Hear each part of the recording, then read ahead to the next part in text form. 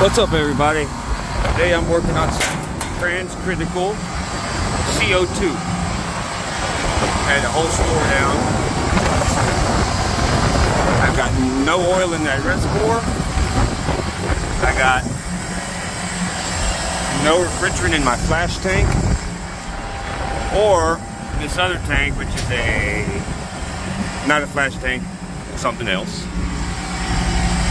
So I'll be diving into this world of transcritical stuff in the coming future and sharing some of the things I know or all of the things I learned uh, about this with y'all. So stay tuned, stay subscribed, share the videos if you get any good value out of it.